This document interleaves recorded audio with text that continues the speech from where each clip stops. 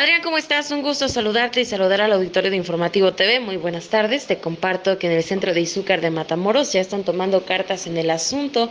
Las autoridades, y es que te comparto, se presume justamente en la calle Centenario esquina con Aldama, ah, se habría formado por el paso del tiempo un gran bache justo en la rejilla de aguas pluviales se habría desoldado aproximadamente un metro, prácticamente se formaba un cuadro, lo cual provocaba que ya algunas personas hubieran tenido lesiones leves e incluso también algunos accidentes tales como choques. Ante esto te comparto que ya la autoridad municipal tomó cartas en el asunto, ya se ha soldado esta vialidad y por supuesto ya pueden transitar de manera tranquila y por supuesto ligera. Hasta el momento la información, que tengas una excelente tarde.